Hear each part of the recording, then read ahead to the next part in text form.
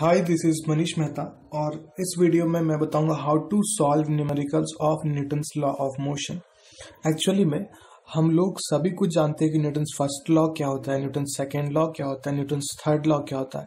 लेकिन सब कुछ जानते हुए भी थ्योरी सिंपल है, एकदम कोई कॉम्प्लिकेशन नहीं है। लेकिन उसके बावजूद जानते हुए भी हम लोग जो है क्वेश्चन सॉल्व नहीं कर पाते। तो मतलब उस थ्योरी को क्वेश्चन में अप्लाई नहीं कर पाते।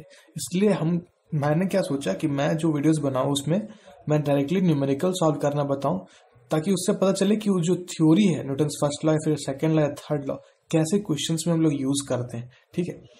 तो चलिए हम लोग क्वेश्चन से स्टार्ट करते हैं। अभी मैं फ़र्स्ट एग्ज़ाम्पल लिया हूँ मैं ना अप्रोच बताऊँगा कि क्वेश्चन को ऐसे ही क्यों सोचे, ठीक है? या फिर क्वेश्चन को सोचने का तरीका क्या होना चाहिए हमें? तो लेटिए मैं क्वेश्चन लेता हूँ। अभी मैं जितने एग्जांपल्स लूँगा शुरुआत में, वो सब इक्विलिब्रियम में रहेंगे वो बॉडीज इक्विलिब्रियम मतलब इक्विलिब्रियम मतलब वो बॉडी मूव नहीं कर रहा होगा। नॉट मूविंग नॉट मूविंग कहने का मतलब उस पर नेट फोर्स जब इक्विलिब्रियम होता है, उस पर नेट फोर्स ज़ीरो होता है। यहाँ पे ध्यान से देखें तो ये बॉडी मूव नहीं कर रहा है। मूव नहीं कर रहा मतलब रुका हुआ है तो रुका हुआ इस पर नेट फोर्स ज़ीरो होगा। और भी मैं एग्जांपल्स लूँगा।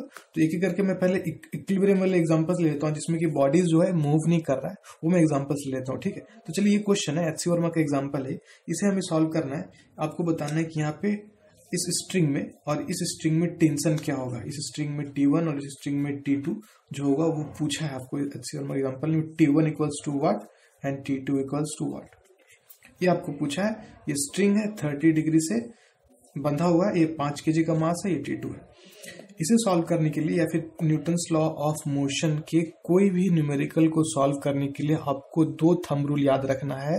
क्या करना है आपको दो दो थम रूल पहले बात जो आपको याद रखना है फ़र्स्ट जो है, बात जो आपको याद रखना है कि बॉडी जो हम लोग चूज़ करेंगे, जो क्वेश्चन सॉल्व कर रहे हैं जैसे ये बॉडी है तो इस पे हम लोग क्वेश्चन सॉल्व करेंगे तो उस पर हम लोग फोर्स ड्रॉ करेंगे। ठीक है? बॉडी जो हम लोग चूज़ किए draw forces acting on it पहला स्टेप हर सवाल के लिए यही रहेगा। दूसरा स्टेप देन क्या करना है इस स्टेप के बाद? हमें हमें हर सवाल हर सवाल के लिए मैं बता रहा हूँ, दो पॉइंट्स है, वो हर सवाल के लिए। पहले फोर्सेस ड्रॉ करना है बॉडी पे, और then write the force balance equation force balance equation लिखना है। ये दो पॉइंट से आपको सारा सवाल आप सॉल्व कर पाएँगे। तो चलिए मैं दिखाता हूँ कि कैसे ये दो चीज़ से हम लोग अलग अलग क्वेश्चन में कैसे हम लोग फोर्सेस को ड्रॉ करेंगे और कैसे हम लोग फोर्स बैलेंस इक्वेशन लिखेंगे। ये लिखना आना चाहिए आपको जब तक आपने अच्छे से नहीं देख रखा है या फिर आपको नहीं पता है तो आप फोर्स बैलेंस इक्वेशन नहीं लिख पाएँगे डिफरेंट डिफरेंट क्वेश्चन पे। तो आपको जब तक सारे क्वेश्चन नहीं देखता है अलग अलग प्रकार के तो आपको स्ट्राइक नहीं करेगा कैसे कर रहा है। इसलिए मैं डिफरेंट टाइप्स ऑफ़ क्वेश्चन को बताऊँगा इसमें और आगे आने वाले वीडियो में। तो चलिए इस एग्ज़ाम्पल से हम लोग सीखते हैं पहले हम लोग फोर्सेज ड्रॉ कैसे करें और फिर फोर्स बैलेंस कैसे करें। बहुत ही सिंपल सा चीज़ है। हम लोग ध्यान से देखें। इस पे कौन कौन सा फोर्सेस एक्ट हो रहा है? ये पाँच के जी ब्लॉक है यहाँ पे रुका हुआ है। यहाँ पे अगर हैंड है तो रस्सी इधर खींच रहा होगा उसे टी वन टेंशन से। ये रस्सी इधर खींच रहा होगा इसे टी टू टेंशन से, और इसका एक अपना वेट होगा नीचे एम जी एम जी बोले तो M G five into ten है ना एम जी एक स्ट्रिंग दूसरा स्ट्रिंग और अर्थ। तीन ही चीज़ तो फोर्स लगा रहा है, और कुछ तो है नहीं। तो क्या करेंगे हम? सिंपल सा उसे उठाएँगे हम। इस पाँच के वाली बॉडी को उस पर जितने फोर्सेस लग रहे थे, उन्हें हम दिखाएँगे। इधर लग रहा था टी वन इधर लग रहा था टी टू ठीक है? और नीचे की ओर लग रहा था एम जी ओके अब एक चीज़ मैं बता दूँ कि स्ट्रिंग जो है, वो हमेशा अवे की ओर फोर्स लगाता है मतलब खींचता है वो। वो कभी भी ना कॉम्प्रेस नहीं कर सकता। मतलब कि स्ट्रिंग से जब भी फोर्स लगेगा किसी बॉडी पे तो उससे बाहर की ओर लगेगा। ऐसे बाहर। इससे बाहर की ओर, वो खींच सकता है, रस्सी खींच सकता है। रस्सी कभी दबा नहीं सकता किस बॉडी को, क्योंकि अगर रस्सी को हम लोग दबाते हैं तो वो ढीला हो जाएगा। ढीला हो जाएगा तो वो फोर्स नहीं लगा पाएगा, ठीक है? बट अगर उसे हम लोग टाइट रखेंगे तो वो खींच पाएगा। इसलिए हमें फोर्स जो है स्ट्रिंग हमेशा बॉडी पे आउटवर्ड लगाता है। इसलिए मैंने टी को इधर बनाया टी वन है टी टू आउटवर्ड और एम तो हमेशा नीचे की ओर ही खींचता है, जो अर्थ है ग्रेविटी तो ये तीन फोर्स है और हमारे पास ये एंगल दिया हुआ है। ये जो एंगल है हमारे पास, ये थर्टी डिग्री दिया हुआ है। तो कुछ नहीं करना है हमको। हमें ना यहाँ पे एक्सिस चूज़ करना होगा। ठीक है? ये तो मैंने फ़र्स्ट स्टेप कर दिया कि बॉडी है, उस पर ड्रॉ फोर्सेस ऑन इट इस बॉडी पे जो फोर्स एक्ट कर रहे हैं, ध्यान से सुने इस बात को आप। लोग कंफ्यूज कर जाते हैं इस स्टेप में। ये फ़र्स्ट स्टेप है। फ़र्स्ट स्टेप पे क्या है? इस बॉडी पे जितने भी फोर्स लग रहे हैं, लग रहे हैं लग रहे हैं, इस पे लग रहे हैं, ध्यान से, ठीक है? मतलब एक रस्सी खींच रहा है, इस रस्सी खींच रहा है और नीचे ग्रेविटी खींच रहा है। ठीक है? अब ये हो गया। अब हम लोगों ने, अब हमें क्या करना है? फोर्स बैलेंस इक्वेशन लिखना है। फ़र्स्ट स्टेप मैंने कर दिया। फोर्सेस ड्रॉ करना था बॉडी पे ड्रॉ कर दिया। अब फोर्स बैलेंस इक्वेशन लिखना है। बहुत ही इजी फोर्स बैलेंस इक्वेशन लिखना। मतलब हम लोग ध्यान से देखें तो एक फोर्स इधर है, एक फोर्स इधर है, एक फोर्स इधर है। तो इसे हम लोग बैलेंस करना थोड़ा सा कॉम्प्लिकेटेड है। इसलिए हम लोग इसमें क्या करेंगे? कंपोनेंट करेंगे। कैसे करेंगे? ध्यान से। इसे हम लोग बोल देंगे एक्स एक्सिस ये तो सभी लोग जानते हैं। और ये वाला है वाई एक्सिस ये है वाई एक्सिस वाई ये एक्स तो ये फोर्स तो एम जी वाई के अलॉन्ग आ रहा है। टी वन जो है वो एक्स के अलॉन्ग आ रहा है, लेकिन ये किसी के अलॉन्ग नहीं आ रहा है। हम यहाँ पे फोर्स बैलेंस करेंगे एक्स के अलॉन्ग और वाई के अलॉन्ग ठीक है?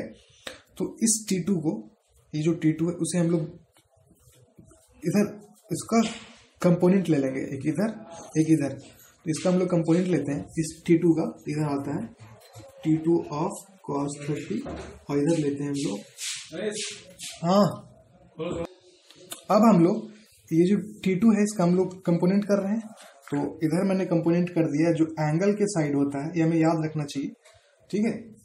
उसे हम लोग कंपोनेंट करते हैं टी टू कॉस थर्टी और जो एंगल के उल्टे साइड होता है मतलब इसे हम लोग बोलेंगे T two of sine thirty ये हम लोगों ने इसे इस फोर्स को दो पार्ट में ब्रेक कर दिया।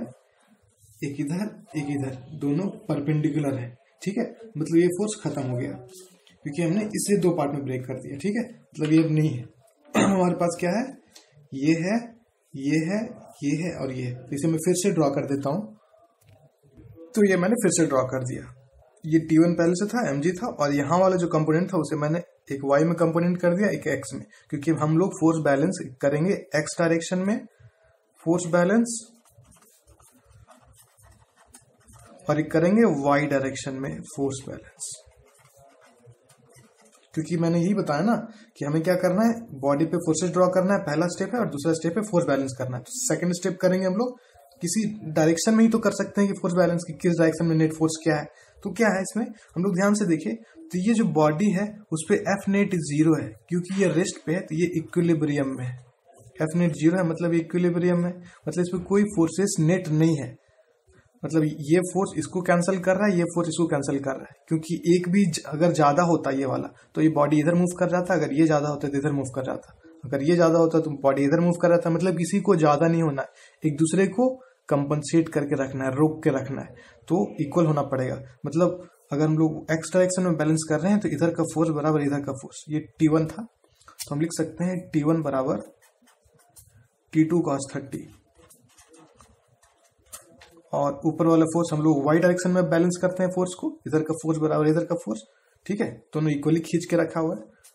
टी टू साइन थर्टी बराबर एम जी ठीक है? तो यहाँ से बहुत इजी है। ये एक पहला इक्वेशन आ गया। फोर्स बैलेंस इक्वेशन लिखना है तो ये फ़र्स्ट इक्वेशन है फोर्स बैलेंस इक्वेशन ये सेकंड फोर्स बैलेंस इक्वेशन अब यहाँ से हम लोग बहुत इजीली सॉल्व कर सकते हैं। हमें टी वन और टी टू पूछा है तो यहाँ से हम टी टू निकाल लेंगे सेकंड इक्वेशन से, क्योंकि हमें साइन थर्टी पता होता है तो साइन थर्टी पता है हमें तो हम लिख सकते हैं T two into sine thirty का वैल्यू हाफ़ होता है equals to m g m का वैल्यू दिया हुआ फाइव के जी है, और जी ग्रेविटी टेन होता है तो फाइव इंटू टेन फिफ्टी हो गया। फिफ्टी न्यूटन तो यहाँ से टू को उधर भेज देंगे तो T two equals to fifteen two two is hundred newton ये तो आ गया टी टू अब टी टू को यहाँ पे हम लोग सब्सटीट्यूट कर देंगे, डाल देंगे तो यहाँ से टी वन आ जाएगा। क्या आ जाएगा T one T one equals to मैं यहीं पे लिख देता हूँ T one equals to T two आ गया हंड्रेड एंड कॉस थर्टी का वैल्यू कितना होता है? रूट थ्री बाई टू यहाँ से कैंसल आउट फिफ्टी तो यहाँ से आ गया T T one equals to fifty root three newton ठीक है? ये दो टेंशन का वैल्यू आया। तो ये दो स्टेप से सवाल हुए। चलिए मैं और एग्जांपल्स बताता हूँ, उससे आपको और भी क्लियर होगा। इस बार के एग्ज़ाम्पल में क्या है? फिर से एक ब्लॉक है, एक इधर रस्सी है, एक इधर रस्सी है, और दोनों, ये रस्सी at an angle sixty degree है, और ये रस्सी जो at an angle thirty degree है, और इसे हैंग करके रखा हुआ ये फिर से बॉडी क्या है? इक्विलिब्रियम में है। इक्विलिब्रियम कहने मतलब ये रेस्ट पे है तो इस पर नेट फोर्स फिर से ज़ीरो है। तो हम लोग क्या करेंगे? पहला स्टेप इस पे जितने भी फोर्सेस लग रहे हैं, इस पे जितने भी फोर्सेस एक्ट कर रहे हैं, उन्हें हम ड्रॉ करेंगे। हम लोग ध्यान से देखेंगे इसमें कितने फोर्सेस एक्ट कर रहे हैं। एक जो रस्सी है, उसे इधर खींच रहा है। इस रस्सी पे इधर खींच रहा है और इसका जो ग्रेविटी है, जो ग्रेविटी फोर्स है, वो नीचे लग रहा है एम जी तीन ही फोर्स लग रहा है। टेंशन इस रस्सी का, इस रस्सी का टेंशन इसमें ले टी वन टेंशन लग रहा है, इसमें ले टी टू टेंशन लग रहा है। नीचे एम जी तो आपको फिर से पूछा है T one equals to what and T two equals to what ये आप खुद से ट्राई कर सकते हैं। उसके बाद मेरा सॉल्यूशन देखिएगा वीडियो को पॉज कर दीजिए, एक बार कीजिए, फिर से आप क्रॉस चेक कर लीजिएगा। तो हम लोग क्या करते हैं? फ़र्स्ट स्टेप क्या रहता है मेरे सवाल को सॉल्व करने का? हम क्या करेंगे? इस बॉडी पे जितने फोर्सेस लग रहे हैं, उन्हें हम दिखाएँगे। टेन के का बॉडी है, इधर लग रहा है टी वन ठीक है? तो मैं दिखा देता हूँ। इधर लग रहा है टी वन ठीक है? इधर लग रहा है टी टू कितने एंगल पे लग रहा है? ये भी दिखाएँ आप सिक्सटी डिग्री पे। और इधर कितना लग रहा है? टी टू तो इधर लग रहा है टी टू और नीचे कितना लग रहा है? एम जी एम जी मतलब ten into ten that is hundred newton ये तीन फोर्सेस एक्ट कर रहे हैं। अब कुछ नहीं करना इसमें हम लोग। हमें कुछ लोग इसे फ्री बॉडी डायग्राम कहते हैं।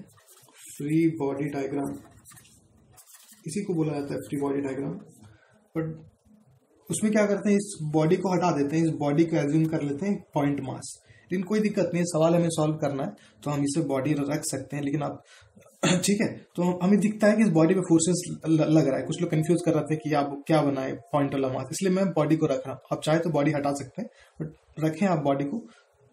तो यहाँ टी वन यहाँ टी टू यहाँ हंड्रेड न्यूटन तो अब क्या करेंगे हम? पहला स्टेप हो चुका है इस बॉडी पे जितने भी फोर्सेस लग रहे थे मैंने दिखा दिया।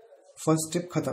दूसरा स्टेप क्या है? फोर्स बैलेंस इक्वेशन लिखना। तो फोर्स बैलेंस इक्वेशन किसी एक्सिस के अलॉन्ग लिखते हैं हमेशा मैं, मैं कहता हूँ पिछले एग्ज़ाम्पल में बताया था। तो इस बार फिर से हम लोग एक्सिस चूज़ करेंगे। इधर एक्स एक्सिस और इसके परपेंडिकुलर वाई एक्सिस ठीक है? तो ये हमारा एक्सिस है, ये एक्स एक्सिस ये वाई एक्सिस तो सारे फोर्सेस को हम लोग इन एक्सिस के अलॉन्ग ब्रेक कर देते हैं, ठीक है? तो यहाँ पे देखिए हंड्रेड न्यूटन तो वाई के अलॉन्ग ही इसे ब्रेक करने की ज़रूरत नहीं है। ये जो टेंशन है, वो ना ही वाई के अलॉन्ग है, ना ही एक्स के अलॉन्ग इसको हम लोग कंपोनेंट में ब्रेक कर देंगे इधर। टी टू उसे भी हम लोग कंपोनेंट में ब्रेक कर लेंगे वाई और एक्स के अलॉन्ग ठीक है? उसके बाद सॉल्व करेंगे। तो चलिए हम लोग ब्रेक करते हैं। इस टी वन को इधर कंपोनेंट ले लिए इधर। तो आ जाएगा इसका कंपोनेंट इधर। T one of cos thirty और इस टी वन का इधर कंपोनेंट किए तो आ जाएगा।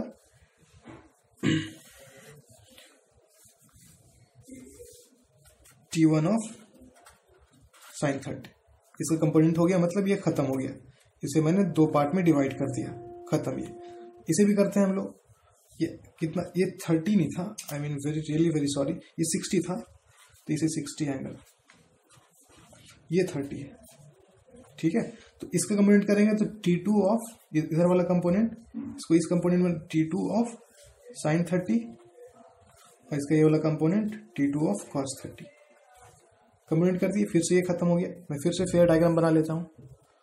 तो ये एक्स एक्सिस था, ये वाई एक्सिस था। इधर जो फोर्स लग रहा है, इसका कंपोनेंट ये वाला जो, ये तो खत्म हो चुका है, इसे ब्रेक कर चुका है मैंने। इधर वाला कहा T one cos sixty T one sine sixty और ये plus T two sine thirty इधर का है टी टू कॉस थर्टी इधर का हंड्रेड न्यूटन अब फिर से हम लोग एक्स डायरेक्शन में फोर्स बैलेंस करेंगे और फिर वाई डायरेक्शन में फोर्स बैलेंस करेंगे। सेकेंड स्टेप जो हमारा है। तो कुछ नहीं करना है। एक्स एक्सिस में एक्स डायरेक्शन में करेंगे तो बॉडी रेस्ट में मतलब इधर का फोर्स बराबर इधर का फोर्स होगा। तो टी कॉस सिक्सटी बराबर, ये टी वन है ना? मैंने टी लिख रखा है क्या? टी वन बराबर T two cos thirty equal है? टी वन कॉस सिक्सटी बराबर टी टू कॉस थर्टी ये पहला इक्वेशन दूसरा इक्वेशन लिखेंगे इधर और इधर। ये बहुत ही इंपॉर्टेंट इक्वेशन लिखना। मैं दिखाऊँगा जब अलग हम लोग बड़े बड़े सवाल करेंगे तो कितना इंपॉर्टेंट होता है। ये नीचे वाला बराबर हंड्रेड बराबर ऊपर में दो है T one sine sixty plus T two sine thirty ये दो इक्वेशन है। दो इक्वेशन है, दो अननोन है। क्या दो unknown T one T two दो अननोन और दो इक्वेशन तो ये मैथ से सिंपल आप सॉल्व कर सकते हैं। चलिए हम लोग सॉल्व करते हैं इसको। टी वन कॉस सिक्सटी और T two cos thirty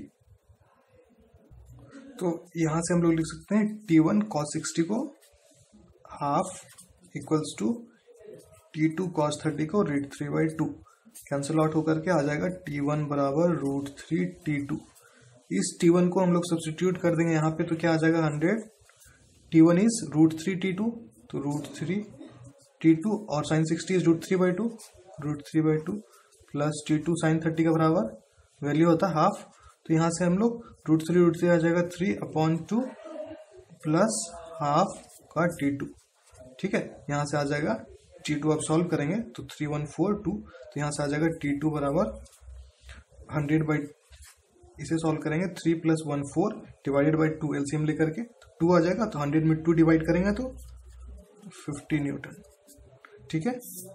T two का वैल्यू यहाँ सब्सटीट्यूट कर देंगे तो टी वन आ जाएगा रूट थ्री इंटू फिफ्टी तो ये सॉल्व कर दिया हमने। ये सॉल्व करने वाले पार्ट तो आप आराम से कर सकते हैं। चलिए और कुछ एग्ज़ाम्पल ले लेते हैं हम लोग। मैं इंक्लाइन प्लेन का एग्जाम्पल्स ले लेता हूँ।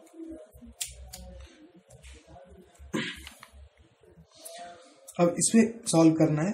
इसमें आपको पूछा है कि ये जो ब्लॉक है, वो इस रस्सी से बंधा हुआ है तो फाइंड द यहाँ पे टेंशन क्या होगा।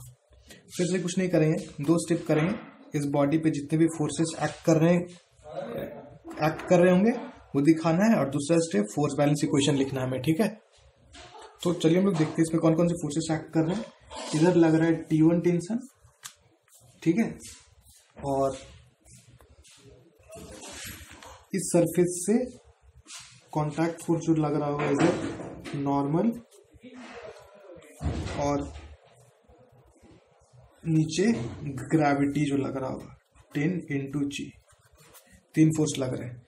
स्ट्रिंग फोर्स ये जो कांटेक्ट है इंक्लाइन में नॉर्मल फोर्स नॉर्मल रिएक्शन जिसको बोलते हैं, ठीक है? नॉर्मल रिएक्शन हमेशा सरफेस के परपेंडिकुलर लगता है। मतलब सरफेस ऐसा है तो उसके परपेंडिकुलर डायरेक्शन में लगेगा। ग्रेविटी हमेशा नीचे लगता है और स्ट्रिंग जिस साइड खींच रहा है उधर लगेगा। ये हो गया हमारा फोर्सेस दिख रहा है। जिसे हम लोग अब अपने फेयर में हम लोग इधर से फिर से ड्रॉ कर लेते हैं। तो ये हमारा बॉडी था। नीचे लग रहा था gravity. Ten into g hundred newton में लिख देता हूँ डायरेक्टली। इधर लग रहा था टी, टेंशन। और इधर लग रहा था नॉर्मल कुछ नहीं करेंगे हम लोग। ये इंक्लाइन था अपना। ये इंक्लाइन था ना। इंक्लाइन एंगल कितना था ये वाला? थर्टी डिग्री तो ये जो है इसका हम लोग दो कंपोनेंट करेंगे। हर सवाल में एक अलोंग द इंक्लाइन जो ग्रेविटी फोर्स होता है, जब भी इंक्लाइन प्लेन का सवाल आएगा तो जब भी ये जो एम जी एक्ट कर रहा होगा, उसे हम लोग दो कंपोनेंट में ब्रेक करते हैं और फिर सवाल सॉल्व करते हैं। इसका दो कंपोनेंट हो जाएगा। एक अलोंग द इंक्लाइन और एक परपेंडिकुलर टू द इंक्लाइन तो एक अलोंग द इंक्लाइन इधर आएगा और एक परपेंडिकुलर टू द इंक्लाइन इधर आएगा। ठीक है? इस इंक्लाइन के परपेंडिकुलर तो इधर आ गया। Hundred sine thirty. ये चीज़ लेना बहुत ही आसान है कि कैसे कम्बोड लेते हैं। चलिए मैं दिखाता हूँ। और इधर आता है हंड्रेड ऑफ़ कॉस थर्टी कैसे लेते हैं? चलिए मैं दिखाता हूँ। ये एंगल थर्टी डिग्री है तो ये नाइन्टी है तो ये सिक्सटी हो जाएगा। फिर से ये नाइन्टी है तो और ये सिक्सटी है मतलब ये एंगल भी सिक्सटी है तो ये एंगल जो सिक्सटी है तो ये एंगल कितना हो जाएगा? थर्टी डिग्री तो इसका हम लोग एंगल के साइड जो कंपोनेंट लेते हैं, वो कॉस के साथ लेते हैं तो इधर कंपोनेंट हो गया हंड्रेड कॉस थर्टी ये एंगल पता है हमें, और इधर कंपोनेंट हो गया हंड्रेड साइन थर्टी तो हमें जनरली हम लोग ना, इसे हम लोग याद भी रखते हैं कि जब भी इंक्लाइन प्लेन है इंक्लाइन का एंगल रहता है तो इसका इधर कंपोनेंट आएगा हंड्रेड मतलब एम जी साइन थर्टी आता है एम जी साइन थीटा और उसके परपेंडिकुलर वाला जो आता है, वो आता है जी कॉस थीटा ये हमें याद रखना चाहिए। आपको पता चलेगा, जब आगे आप क्वेश्चन करेंगे तो आपको इतना टाइम नहीं रहेगा कि ये सब करें हम लोग। एंगल निकालते रहें। इधर वाला हमेशा जो थीटा रहता है, उसका साइन थीटा ले लेते हैं और उसके प्रिंकल वाला हमेशा कॉस थीटा ले लेते हैं। चलिए, अब क्वेश्चन को सॉल्व करते हैं हम लोग। पहले तो हम लोग फोर्सेस दिखा दी इसको हम लोग कंपोनेंट में ब्रेक कर दिए एक इधर एक इधर। तो ये तो खत्म हो गया। तो हमारे पास कितने फोर्सेस बचे? एक इधर एक इधर एक इधर इधर। अब क्या करें हम लोग? फोर्स बैलेंस करेंगे। यहाँ पे फोर्स बैलेंस किस किस डायरेक्शन में करेंगे? अलॉन्ग द इंक्लाइन और एक परपेंडिकुलर टू द इंक्लाइन तो चलिए हम लोग फिर से जल्दी से फास्टली इसको ड्रॉ कर देते हैं। इधर हमें एक्ट कर रहा है टी इधर एक्ट कर रहा है नॉर्मल इधर एक्ट कर रहा है हंड्रेड साइन थर्टी का वैल्यू कितना होता है? Half that is fifty newton ठीक है? और इधर एक्ट कितना कर रहा है? Hundred cos thirty that is hundred cos thirty का value root three by two that is fifty root three newton ठीक है? Hundred cos thirty is root three by two two cancel out fifty root three newton अब force balance करेंगे। एक along the incline और एक perpendicular to the incline along the incline मतलब ये incline plane के अलोंग और उसके परपेंडिकुलर क्योंकि ये बॉडी ज़ीरो है मतलब इक्विलिब्रियम में है तो उस पर नेट फोर्स ज़ीरो है तो इधर का फोर्स बराबर इधर का फोर्स हो जाएगा। तो एन बराबर फिफ्टी रूट थ्री न्यूटन इधर का फोर्स बराबर इधर का। उस तरीके से इधर का फोर्स बराबर इधर से, यहाँ से टी बराबर फिफ्टी न्यूटन। तो डायरेक्टली यहाँ से आ गया। ये इसे ही बोलते हैं हम लोग फोर्स बैलेंस इक्वेशन जो सेकंड स्टेप था। पहला इक्वेशन है, ये दूसरा इक्वेशन है। तो यहाँ से टेंशन डायरेक्टली आ गया, यहाँ से नॉर्मल भी आ गया। तो क्वेश्चन में आपको टेंशन भी पूछ सकता था, आपको नॉर्मल भी पूछ सकता था, ठीक है? यहाँ टेंशन पूछ रखा था। कुछ और एग्जाम्पल्स ले लेते हैं हम लोग। इस एग्ज़ाम्पल में थोड़ा डिफरेंट टाइप से पूछा है बट स्टेप वही करना है। आपको कंफ्यूजन आपको कोई कंफ्यूजन नहीं रखना कि कैसे करना है। यार, इसमें कुछ और पूछ दिया। हर बार टेंशन पूछता था। इसमें आपको पूछ दिया है, ये इंक्लाइन प्लेन है। इंक्लाइन प्लेन का एंगल थीटा है। ये फाइव के है, ये थ्री के है। इधर पूछ दिया है कि थीटा इक्वल्स टू वाट इस बार क्वेश्चन पूछा है आपको। Theta equals to what for which the system is in equilibrium equilibrium मतलब ये थ्री के यहीं पे रुका हुआ फाइव के यहीं पे रुका हुआ मतलब ये सिस्टम रेस्ट पे है तो ये एंगल कितना होना चाहिए, ये पूछा है आपको। मतलब हम लोग इसे सॉल्व करने के लिए फिर से क्या करेंगे? यहाँ पे दो दो बॉडीज है, दोनों पे फोर्सेस ड्रॉ करेंगे और दोनों के लिए हम लोग फोर्स बैलेंस इक्वेशन लिखेंगे। तो चलिए जल्दी से करते हैं हम लोग, क्या करेंगे इधर? इधर एक्ट कर रहा है टेंशन इधर इस पे एक्ट क्या कर रहा है हमें याद रखना चाहिए इंक्लाइन के लॉन्ग कितना होता है? एम जी साइन थीटा तो फिफ्टी है m g sine theta is sine theta ठीक है इस पे इधर जो एक्ट कर रहा है कितना है? Fifty cos theta cos theta इसके परपेंडिकुलर जो एक्ट कर रहा है नॉर्मल इस पे फोर्सेज जो लग रहे दिखाते हैं हम लोग। इधर जो खींच रहा है रस्सी खींचता है हमेशा। टी इधर थर्टी मीटर और कोई फोर्स नहीं है दो ही फोर्स है। हो गया? ये तो फोर्स हो गया। इसे मैं फिर से फेयर में यहाँ पे ड्रॉ कर देता हूँ।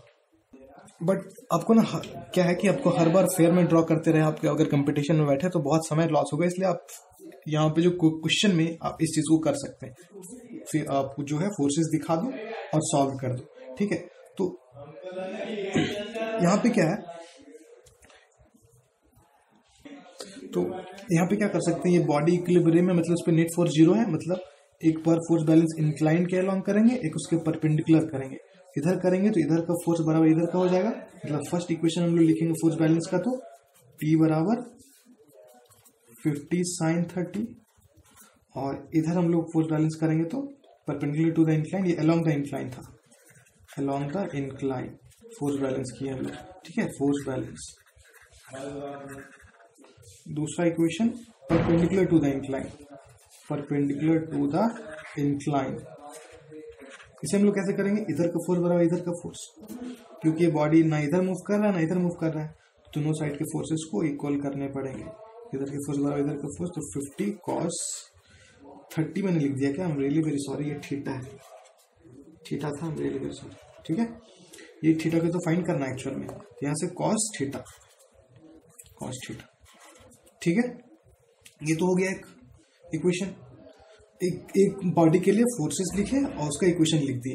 इसके लिए भी फोर्सेस लिख चुके हैं। इसके लिए भी इक्वेशन लिखते हैं। इक्वेशन थर्ड वाई एक्सिस के अलॉन्ग वाई एक्सिस के अलॉन्ग फोर्स बैलेंस करेंगे। कुछ लोग कंफ्यूज कर जाते हैं किस डायरेक्शन में फोर्स बैलेंस करते हैं। उस डायरेक्शन में हम लोग फोर्स बैलेंस करते हैं जिस डायरेक्शन में मोशन होता है या फिर हो सकता है। और उसके परपेंडिकुलर डायरेक्शन में। तो इंक्लाइन प्लेन में मोशन इधर ही हो सकता है। ठीक है? और उसके परपेंडिकुलर डायरेक्शन में किए और यहाँ पे मोशन इधर ही हो सकता है, ठीक है? और उसके परपेंडिकुलर में करेंगे। परपेंडिकुलर में कोई फोर्स है नहीं, सिर्फ़ इधर ही है तो सिर्फ़ वाई डायरेक्शन में फोर्स बैलेंस करेंगे तो यहाँ से टी बराबर थर्टी आ जाएगा। टी बराबर थर्टी न्यूटन आ गया, ठीक है? टी बराबर थर्टी न्यूटन आ गया यहाँ सब्सटीट्यूट कर देंगे तो क्या आ जाएगा? Thirty equals to fifty of sine theta तो यहाँ से आ गया sine theta equals to thirty by fifty zero zero cancel out three by five तो यहाँ से theta equals to sine inverse three by five ये हमारा एंगल आ गया। कि इस एंगल के लिए हम लोग इसका यूज़ करते हैं क्या? ये जो सिस्टम होगा, वो इक्विलिब्रियम में होगा। ठीक है? तो एक बहुत ही फ़ेमस सा ट्राइंगल भी है, जो मैं बता देता हूँ, जो आपको फिजिक्स में बार बार आता रहेगा। ये ट्राइंगल ये फोर है, ये थ्री है, ये फाइव है। तो थ्री छोटा है तो इधर का एंगल हो जाएगा। जितना छोटा रहेगा, उतना कम एंगल फॉर्म करेगा। थर्टी सेवन डिग्री ये बड़ा है तो इधर फॉर्म करेगा फिफ्टी थ्री डिग्री और ये नाइन्टी डिग्री ये राइट एंगल ट्राइंगल थोड़ा फ़ेमस है। आपको जब भी दिया रहेगा थर्टी सेवन तो आप इस ट्राइंगल से यूज़ कर लेना। कॉस थर्टी सेवन का वैल्यू क्या है साइन थर्टी सेवन का वैल्यू क्या है। यहाँ थ्री बाय फाइव है तो ध्यान से देख सकते हैं थ्री बाय फाइव कौन सा एंगल फॉर्म हो सकता था। ये हम लोग रीड कर सकते थे। कॉस अगर फिफ्टी थ्री रीड करते हैं हम लोग, ठीक है? तो यहाँ से फॉर्म होता ना थ्री बाय फाइव यहाँ पे साइन फिफ्टी थ्री है ना साइन इनवर्स है। तो साइन फिफ्टी थ्री यहाँ से आएगा आई थिंक हाँ साइन थर्टी सेवन बराबर आ जाएगा थ्री बाय फाइव तो ये एंगल जो आया एक्चुअल में थर्टी सेवन डिग्री ठीक है? तो आप इस फॉर्म में भी लिख सकते हैं, इस फॉर्म में भी बट इसे आप याद रखें, बहुत बार आपको ये एंगल्स दिया रहेगा तो आपको इसका यूज़ पड़ेगा फाइंड करने के लिए। ये तो इंक्लाइन वाले हो गए। मैं इंक्लाइन का एक और सवाल ले लेता हूँ।